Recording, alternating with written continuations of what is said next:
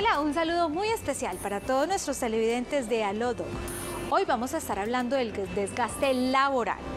Síntomas, consecuencias y soluciones. Tomen asiento y recibamos a nuestro primer invitado el día de hoy.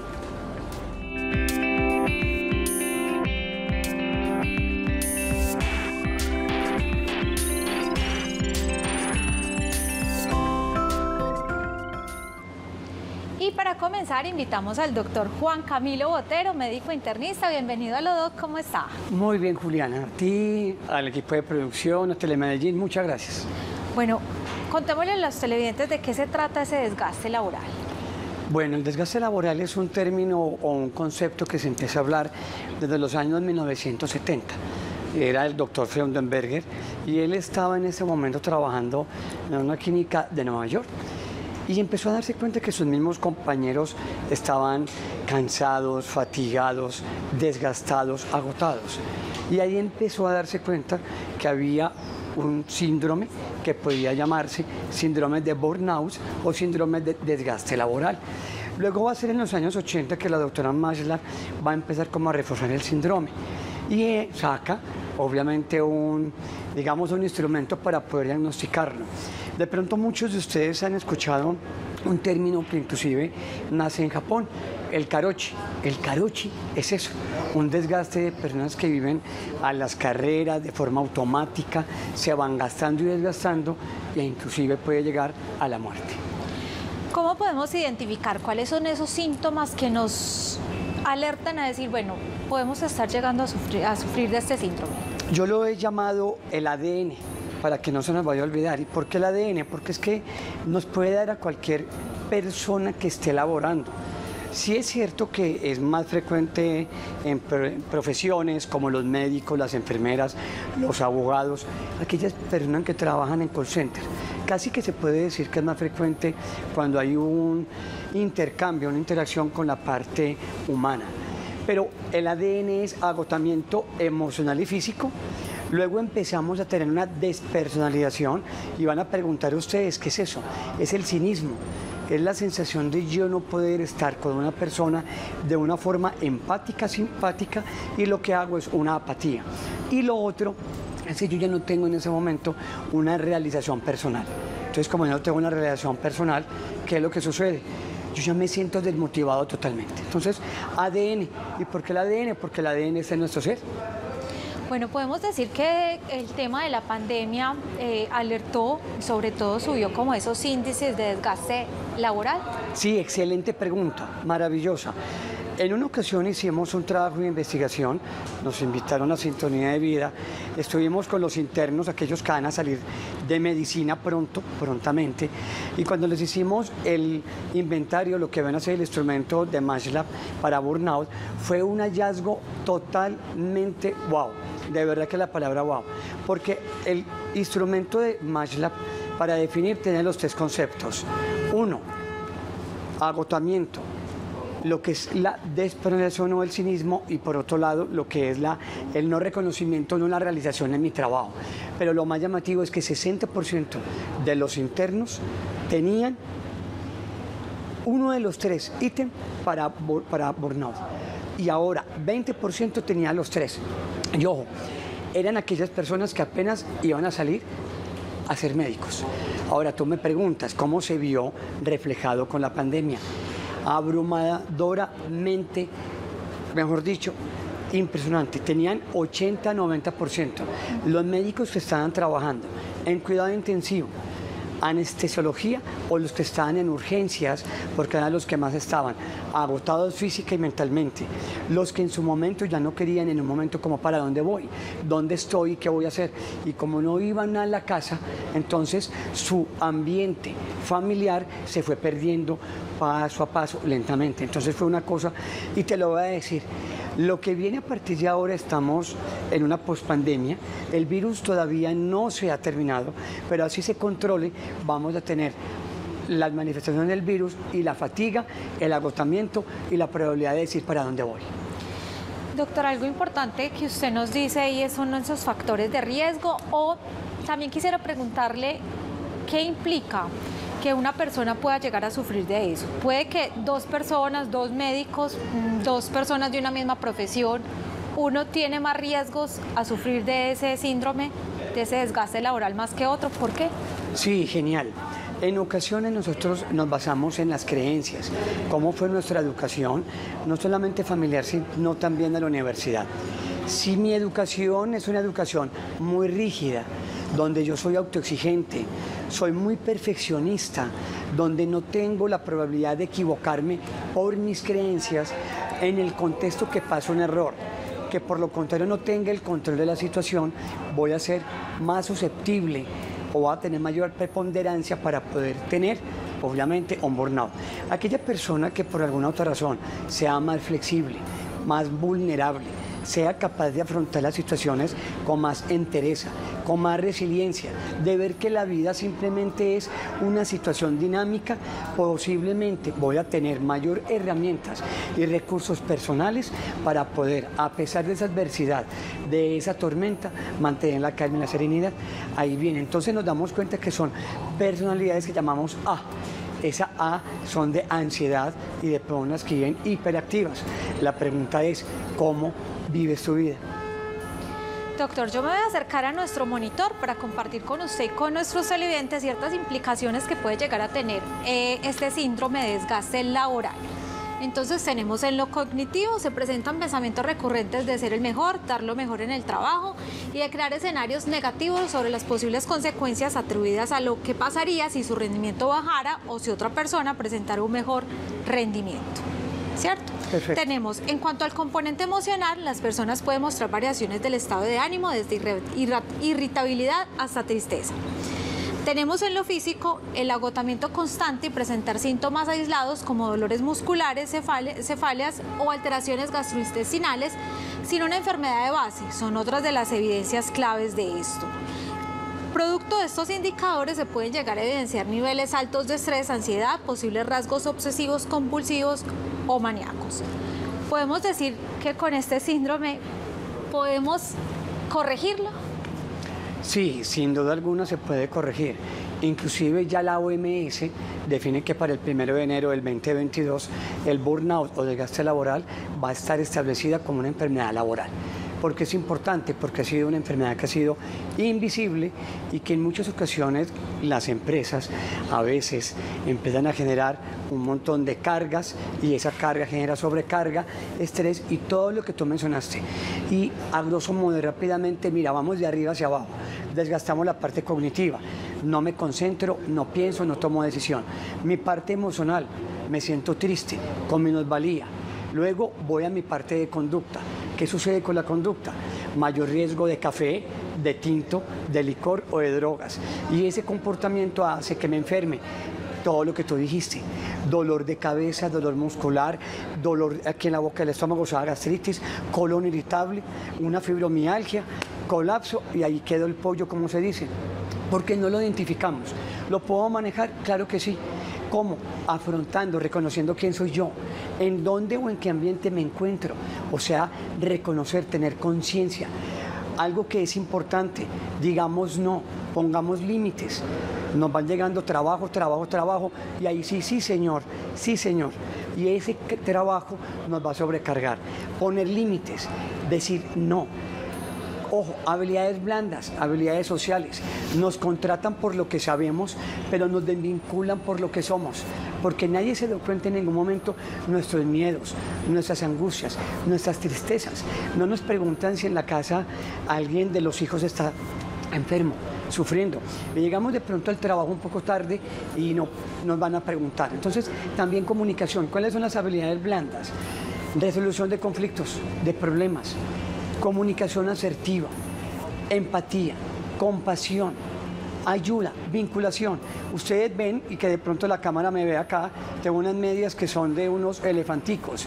En el 2016, el doctor Goffat, que era un cardiólogo, presentó una depresión en Australia. Lo que sucedió fue que cuando fue a dar una conferencia tenía medias de diferente color. Sus estudiantes le dijeron, ¿qué pasó? Él, en lágrimas, en llanto, demostró que tenía un desgaste laboral con una depresión severa y marcada y todos a partir del 5 de junio los médicos nos colocamos medias de ese estilo, medias locas. Durante muchos años me las he colocado y me las voy a seguir colocando para qué? Para que sensibilicemos que esto es una realidad y que si la ocultamos nos va a aplastar. Doctora, además muy en tendencia usted con esto que nos acaba de decir. ¿Cuáles son esos límites que debemos poner? Cuando tenemos límites es que decir no en cualquier momento. Te pregunto a ti, a ti Juliana, a todos los ustedes de producción, ¿qué es lo más importante y lo más urgente? Vivimos en un mundo tan rápido que parecemos Schumacher y ahí en un momento u otro nos damos un golpe tan importante que la pregunta sería, ¿cómo vamos a quedar? No todo es urgente y no todo es importante. Si somos capaces de desmenuzar, de pelar la cebolla y ver realmente qué es lo más importante y no lo más urgente, vamos a dejar lo que no es menos urgente y menos importante a un lado. Vamos a poder gestionar nuestras emociones y vamos a poder decirle a los demás que nos ayuden. Cuando hacemos eso, nos damos cuenta que no somos Superman, no somos la mujer maravilla y que ahí nuestra salud es lo más importante que hay. Ese es yo creo que el dato más de hoy más importante. Doctor, ¿qué tal si respondemos la siguiente pregunta que nos llega a través de nuestro correo electrónico claro. y Lucía Mora nos pregunta lo siguiente. Primero nos desea un buen día y nos dice qué hacer cuando no se alcanza, no alcanza el tiempo para cumplir con las labores diarias. A veces es imposible parar para hacer pausas activas. Para ti, Lucía, hay un libro que te lo recomiendo, se llama Tráguese ese sapo. Y ese sapo es porque uno se tiene que tragar lo más grande. Cuando tú tengas, y obviamente, Juli, tú lo decías, ¿qué sucedió en la pandemia? Multitareas, madres que están con sus hijos, están en la casa porque tienen teletrabajo, están esposas, madres, amantes, de todo lo que hay en la casa y no les queda el tiempo. Empieza, haz unos objetivos, planeación, planificación y empieza a colocar qué vas a hacer, 7 a 8 esto. Y sí, puedes hacer pausas activas, te demoras 5 minutos. Lo que hacemos con trajes ese sapo es el método Pomodoro. ¿Yo qué hago? 30, 35 minutos de trabajo y descansa 5. Relájate, respira, piensa en ti, haz una llamada, hola mamá, ¿cómo estás? Te quiero mucho. Hace algo, haz algo diferente y con eso te aseguro que vas a tener tiempo para ti. No vivas en ese corre-corre que tiene la vida. Tú eres capaz. Doctor, llega el momento de despedirnos. Muchísimas gracias por todos esos consejos tan prácticos. de que le van a servir muchísimo a nuestros televidentes. Julia, a ti muchas gracias, a Telemedellín y al equipo de producción. Bendiciones y bueno, seguimos aquí en Alodoc. Bueno, vamos a un pequeño corte de mensajes institucionales, pero ya regresamos con nuestra sección jurídica. No se muevan.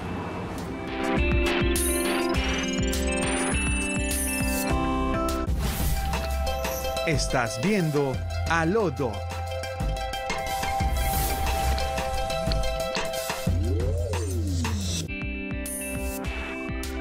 Y regresamos en Alodoc con nuestra sección jurídica y en esta ocasión vamos a hablar del Código Fucsia, para eso hemos invitado a Jonathan Londoño, abogado experto en Derecho Penal. Bienvenido a Lodoc. Muchas gracias, Juliana. Buenos días. Bueno, cuéntanos de qué se trata este Código Fucsia. Bueno, el Código Fucsia es un código que se aplica para las personas que son víctimas de delitos sexuales. Entonces, cuando se tiene conocimiento de que una persona ha sido víctima de este delito, y asiste a un centro de salud, allí se activa todo este, todo este código fucsia para empezar el tratamiento con antirretrovirales y de recolección de pruebas y de material probatorio que va a servir en el caso, pues como tal, en el caso penal. Bueno, ¿a partir de qué edad se puede aplicar este código? Este código se puede aplicar a partir de los tres años, pero esto no quiere decir que los, que los niños o las niñas que son víctimas, pero que son menores a esta edad, eh, no puedan ser tratados, antes al contrario, yo creo que los pediatras en esto y los médicos que hay en este momentico y que son y que sacando pecho, lo digo con orgullo, Colombia es líder en esto. Estos médicos se han encargado de activar una especie de protocolo fucsia, pero orientado a los niños. Es un protocolo muy específico para ellos y lo tratan de una forma muy bonita. Pero a partir de los tres años es que se puede generar todo este, todo este trámite. ¿Quién aplica ese código fucsia? Inicialmente lo aplica el médico de urgencias. El médico de urgencias empieza a tratar a la persona con todo lo que tiene que ver con los antirretrovirales Esto porque no sabemos si la persona que eh, accedió carnalmente a la otra en contra de su voluntad es portador o no de una enfermedad de transmisión sexual. Entonces lo que se busca con esto es evitar o buscar eh, reducir la probabilidad de, de, contagio de cualquier tipo de enfermedad, ¿cierto? Pero no solamente eso es lo que se aplica, allí también el médico tratante inicia con lo que nosotros conocemos como el primer respondiente o con lo que nosotros conocemos como esa persona que inicia la cadena de custodia, que es la parte más importante del proceso penal como tal en este tipo de delitos. Esto, una correcta cadena de custodia va a evitar que en caso tal de que identifiquemos al agresor, eh, quede impune. Entonces es por eso tan importante, es, esa es la importancia de este, de este protocolo. Bueno, Jonathan, ¿por qué o cómo se deben articular las entidades del Estado? Bueno, estamos hablando de uno de los delitos más atroces que puede cometerse no solo contra una mujer, sino contra un hombre, contra un niño, niña, contra cualquier persona. Violarlo o tocarlo, hacerle cualquier tipo de cosas, incluso un adulto, es un evento traumático en muchas ocasiones desarrollan el, síndrome de estrés postraumático y eso es un síndrome psicológico bastante difícil de tratar. Ahora traslademos eso a un niño, va a ser mucho más difícil, entonces le va a quedar el trauma de por vida a esa personita que apenas está en formación, ¿cierto? ¿Qué tienen que hacer las autoridades? Cuando se conoce que es una persona que ha sido víctima de este protocolo, eh, perdón, de, este tipo de delitos, lo que se tiene que hacer es articular no solo, si estamos hablando de un niño, niña o adolescente, tenemos que articular directamente todas las entidades para que se sirvan al favor de esa persona. Es decir, comisaría de familia, los hospitales, incluimos también las EPS, si no tiene EPS, pues entonces todo el tema de del régimen eh, subsidiado, entonces a que esté articulado a garantizar esta cuestión, incluso eso puede ser protegido por vía tutela, en caso tal vez de que por un trámite administrativo no se genere.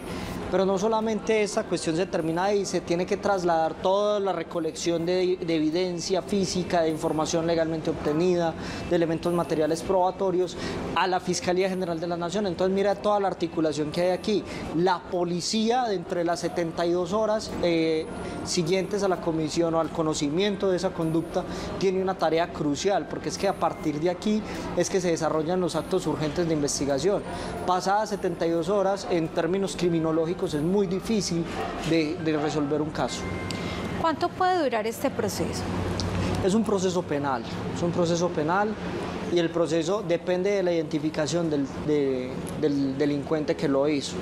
Usualmente eh, son personas muy cercanas al hogar. Cuando estamos hablando de violencia contra niños, niñas y adolescentes, son personas muy cercanas al hogar.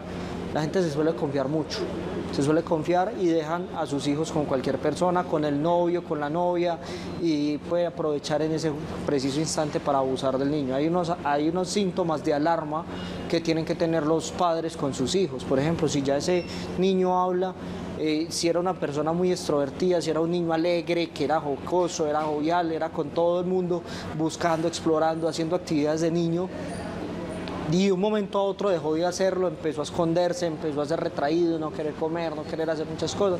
Eso es un síntoma de alarma de que algo está pasando. Entonces hay que empezar a reducir esa cuestión, ¿cierto? Esa, esa brecha. Si ya somos adultos, pues la ventaja es que un adulto puede recordar en gran medida qué es lo que pasa. Pero hay que tener en cuenta una cuestión acá y es que estamos hablando de un hecho traumático. ¿Qué es lo que pasa? Cuando usted está sometido a grandes niveles de estrés, nuestro cerebro nos, nos juega una, una jugarreta bastante sucia y hace que olvidemos cosas importantes. Entre esas puede olvidarse, por ejemplo, el rostro del agresor. Jonathan, ¿qué tal si le explicamos a nuestros televidentes el tema de la revictimización a la que se puede aplicar este código fucsia? Bueno, para responder eso hay que partir de un hecho, ¿qué es revictimizar a alguien? O sea, ¿qué es volver a someter a un dolor a esa persona? Revictimizar no es que lo analicen varios expertos, que esa persona vaya ante varios médicos especialistas, que vaya ante varias, ante varias entidades. Eso no es revictimizar. Revictimizar significa que incluso el Estado teniendo todas las características propias o todos los recursos para poderle dar eh, solución a los, a los problemas, no lo haga. Entonces ahí estamos hablando de una revictimización. Y ahí es donde nosotros tenemos que acudir a los órganos de control para poder ejecutar este tipo de situaciones, para evitar que esto suceda. En cerca del 64% de los casos eh, se revictimiza a la gente. ¿Por qué? Porque se le niega la atención, porque cuando van a presentar la denuncia no le reciben la denuncia o le dicen en la SURI que no son delito porque es un familiar o tratan de convencerlo para que no presente la denuncia porque es el abuelito, es el tío, entonces que va a pasar mucho tiempo de cárcel. Ahí estamos hablando de una revictimización. Eso el Estado no tiene por qué meterse en ese tipo de cosas y menos en un delito sexual. Jonathan, una última recomendación para nuestros televidentes, sobre todo para esos padres de familia y cuidadores de nuestros menores de edad. Nadie conoce mejor a su hijo que su propio padre, y más si viven en una familia, en un núcleo familiar unido. Ustedes son los que le dieron luz a ese niño, son los que conocen cómo es el comportamiento de ese niño. Entonces los padres tienen que estar pendientes. No solo es con el asunto de los delitos sexuales, también con el bullying. Gran parte de, de la campaña de prevención que tenemos que tener como sociedad y en temas de niños tenemos una responsabilidad tripartita, familia, sociedad y Estado. ¿Qué significa eso? Que somos los llamados a evitar ese tipo de, de, problemáticas, somos los que estamos haciendo el diagnóstico. Entonces, ante el menor signo de alarma, acudir a las entidades, bien sea la comisaría de familia, bien sea la inspección de policía, que ellos tienen que activar todo el protocolo e incluso llevar al niño, a la niña o a la persona ante un hospital para que sea valorado. Entonces, no quedarnos callados. Jonathan muchísimas gracias por todas estas recomendaciones para nuestros televidentes. Muchas gracias, Julián. Eh, con esto último nos despedimos, no sin antes recordarles nuestra cita de lunes a viernes a las 8 y 30 de la mañana para que juntos podamos resolver esas inquietudes en temas de salud, bienestar y legales. Hasta pronto.